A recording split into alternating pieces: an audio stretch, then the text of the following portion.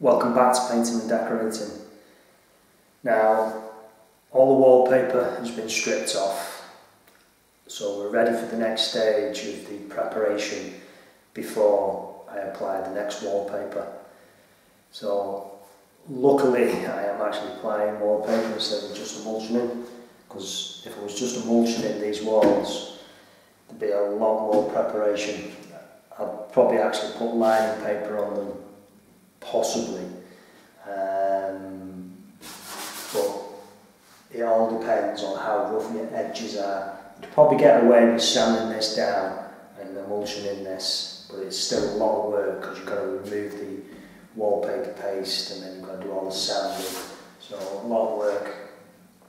Um, I'll give you a quick look round of the certain areas that I need to fill and some of the things that I need to do. Um, again, there's, still a lot of sanding needs doing, starting from the top down.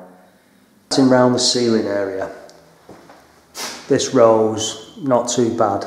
Needs a little bit more of a scrape off, a light sand down, coat of diluted PVA, and then some filler just to smooth it out before it gets its Artex. Um, moving on to the well the ceiling itself has all been dusted off. Um, moving on to where that leak was I've scraped it all back all the loose. And I'm going to put some foam in the cove in there to help secure that. Do some filling on that before the Artex. Um, the coving that all needs sanding down and the, the walls all need sanding down before you start doing any filling of all the holes. Um, skirtings need sanding, door casing, bits up this side, little bit of foam and then polyfiller over the top. Any parts around the skirting board which are slightly loose and I've got cracks, a little bit of foam, polyfiller. Coming back into this room, any cracks in the coving are going to get fixed. I say a little bit, of, a little bit of a hole, bit of foam, sorted, won't come back. That ceiling rose was a bit more difficult to come off so needs a bit more filler in there. I'm going to use some undercoat plaster, then a bit of polyfiller to smooth it off, and then Artex inside that. Now, um, radiators are going to come off, so that will make the job a lot easier. Round the window, that all needs doing. I'm going to um, put some foam in there first and a bit of filler. Make sure it's um, draft proof. Then boxes I've removed off for the time being. So I can put the wallpaper straight across and if they ever get changed you've not got any patches of wallpaper missing. That socket is getting changed at some point, which is a bit of a pain because I'm going to have to leave this wall till that's done.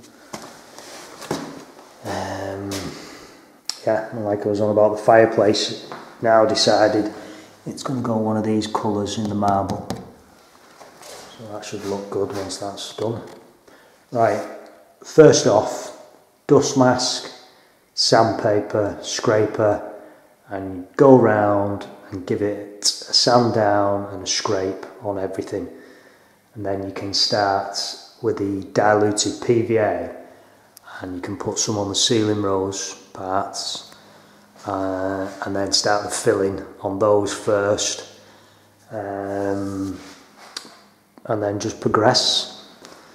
It's uh, not easy but you get there in the end. You think you're getting nowhere and then suddenly snowballs. Right.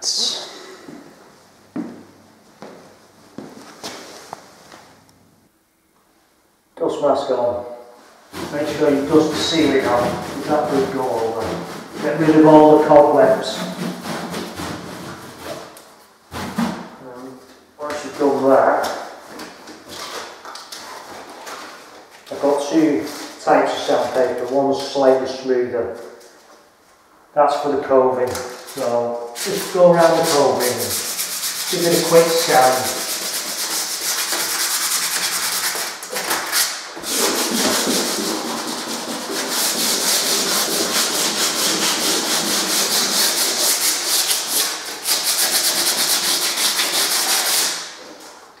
What you're doing there is one, you're giving it a king because it's a flat surface, and two, you're denibbing it, getting rid of all the old little bits of paint or where anybody's uh, gone onto it with a roller, things like that. You can sand it all back, and it just makes your job a lot neater.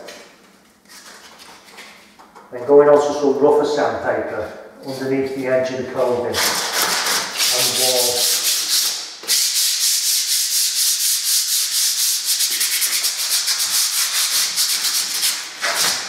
I usually have my gloves on but I've forgotten them so always wear gloves.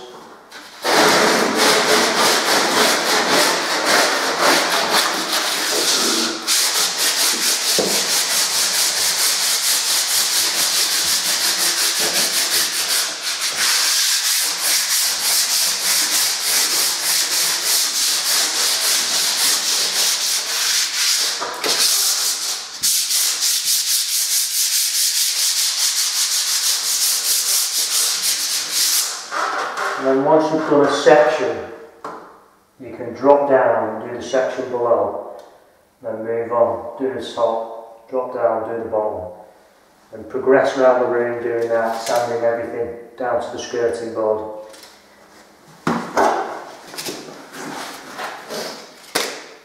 When it comes down to the skirting board, that top edge again, you want to make sure you can get it nice and smooth, best you can because when you do any polyfilling on that, just get it in really neat and then when it's half dry you can wipe it back with a damp cloth and there's no sanding needed after that.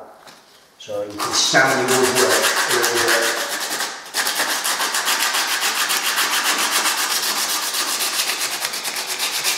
It's all about progressing the job and not dropping back and having to do things twice so, you know, you save yourself a lot of time if you get it right in the first place. And when I do the emulsion, a damp cloth I can wipe off any speckles that are on the skirting board. So that should always now be ready just to paint.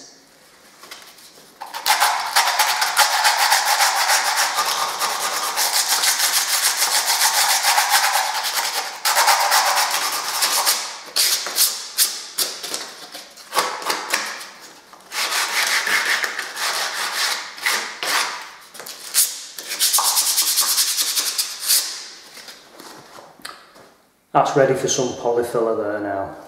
There's some areas that you may have to put some foam in first. People ask when do a PVA and when do we not PVA. Now sometimes a surface is just too dusty like this backing plaster here. Um, so I'm going to actually put some diluted PVA on all over this. And then other occasions, if it's not that dusty you just fill in a hole on a flat wall, then you're okay just to go over with the polyfiller. Polyfiller sticks to stuff really well. Um, but again with this, I'm just going to give it a coat of diluted PVA because this is really rough and dusty. There's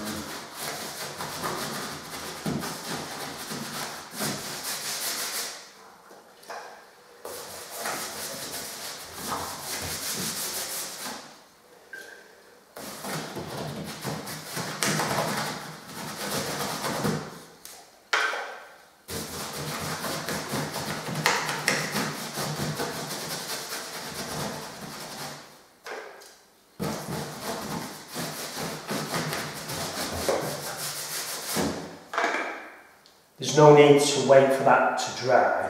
What we're going to do is put some foam in these big holes.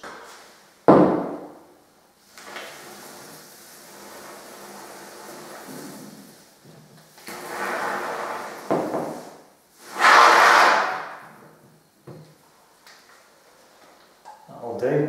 So that's just to fill the big void, so I've actually got a surface to put my filler against. Now I'm going to go around now in the room and fill any uh, cracks or coving that's coming loose with the foam. It's dry that foam now, so I'm going to cut it back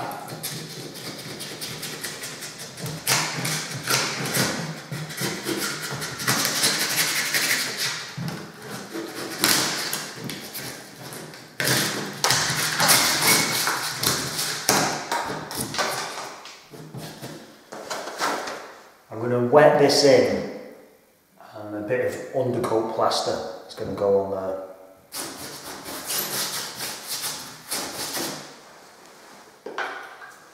The water just helps the undercoat plaster stick better.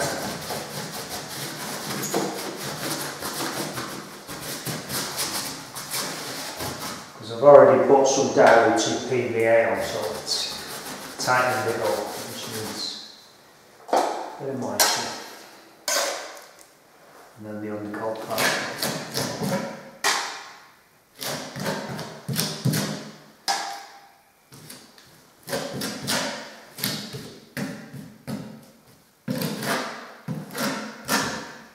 I'm not filling it right to the surface because I'm going to top it up with polyfiller.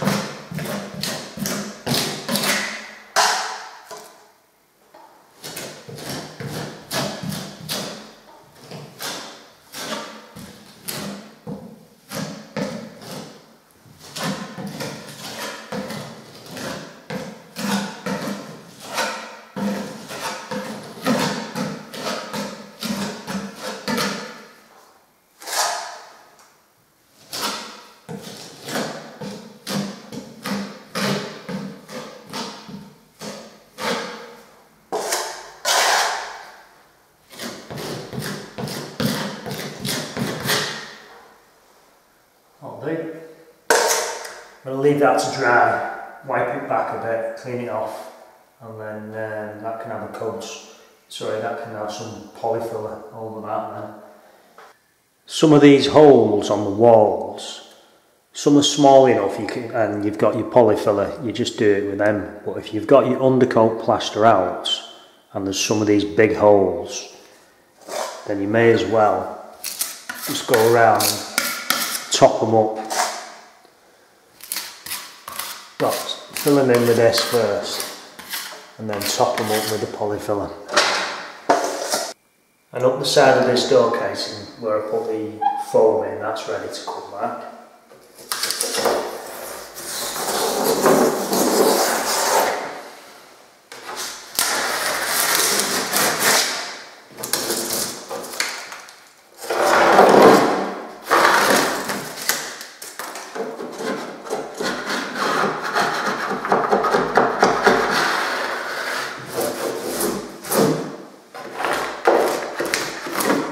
It back a little bit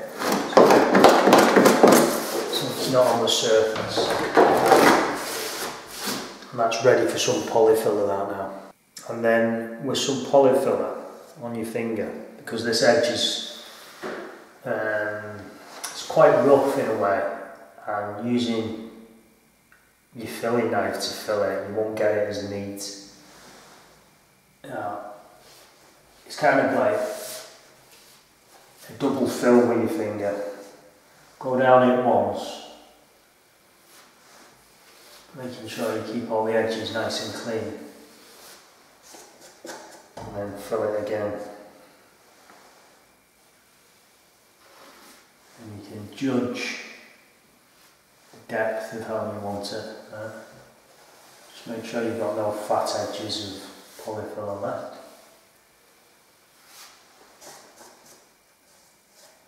That's good, guys.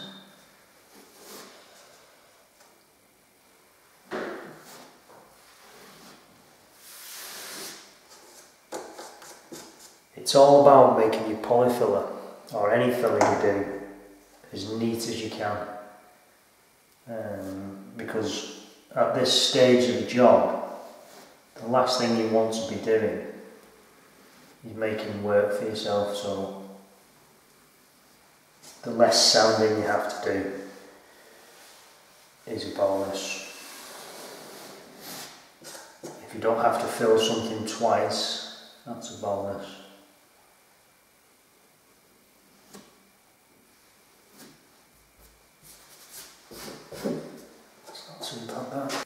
When it comes to this line under the cove in there, it's quite rough. You could get away with just papering it if you was going all white, but I'm actually cutting the colour in eventually. So to make sure that edge is as neat as I can get it, I'm actually polyfilling it underneath, you can just see there. So what I'm doing is using my finger, some polyfiller on there, and just wipe it along that underneath edge. Getting it smooth as you can. Again, like I say, don't leave any lumps of filler. Just rub it across them little bits where the paint's coming off. Just rub it across them. Just smooth that edge off. And when you come to give that a light sand, that'll be perfect. When it comes to the skirting board, you can see that edge there, how rough it is. Now, that's actually been cleaned back and I've sanded it down. So really, all it needs is the polyfiller. And you can see as I go along there where the polyfiller starts.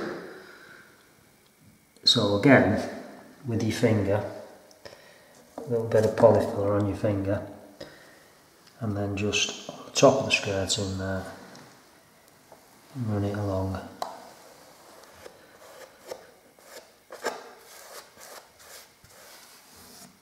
Just make sure you smooth all the edges off again. There you go. Now that does two things. It actually fills the crack at the back, but it also levels up all these edges of the paint so they're nice and smooth show you a little bit more.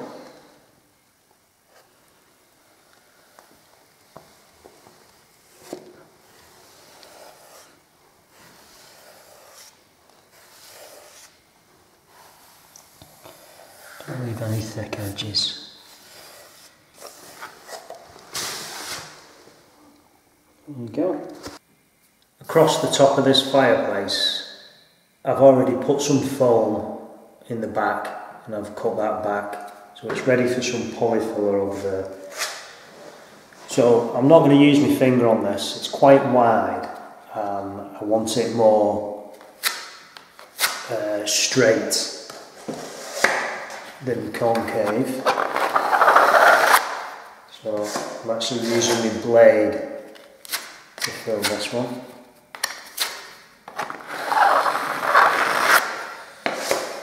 Now, it may need two fills, but I'll only decide once this is dried and I've sanded it down.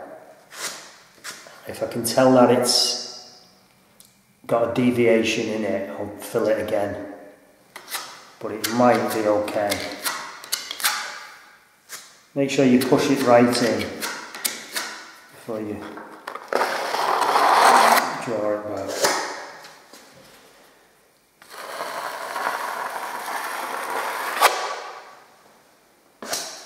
It's not too bad that. You need to leave a bit to sand back.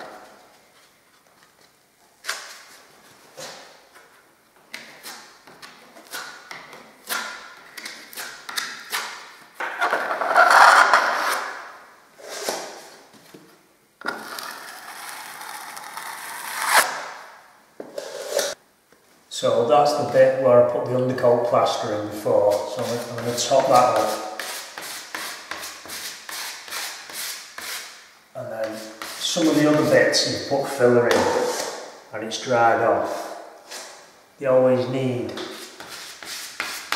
topping up because they do soak in a little bit and leave it slightly concave sometimes. So always make sure you top up your filler on your big holes. This is ready now to top up. I've actually already cleaned it off, so just needs a little bit of polyfiller going over this now. Uh, and then the Artex. Turn up.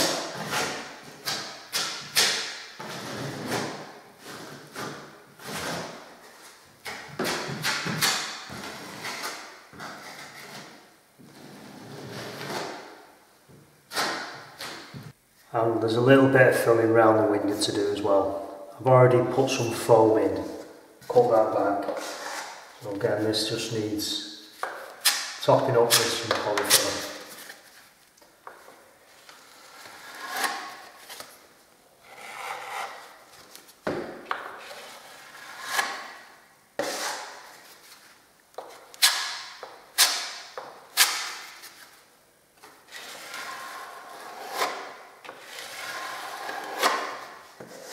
You don't want to be getting loads onto the plastic. And be careful not to scratch it. But once that's dry, and you've done a light sand, you put some diluted PVA on. The rest of it just wipes off the plastic, leaves a very neat finish. That's the uh, end of the filler. Let's have a look. Just needs the Artex going on that bit. All around the ceiling's done. All the holes on the walls. All around the fireplace.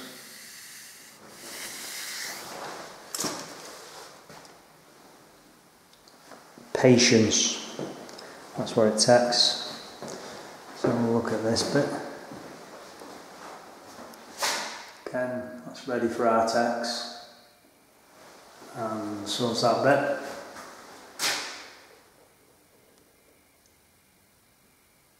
Now the big crack in the cove in there and I put the foam in, polyfiller. That's okay now. I've done all the filler around the frame. So I'll let that dry off now. And then the next stage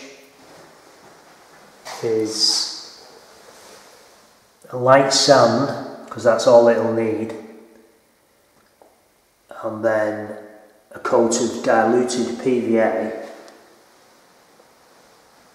and then let that dry, and then I'm ready to start the papering.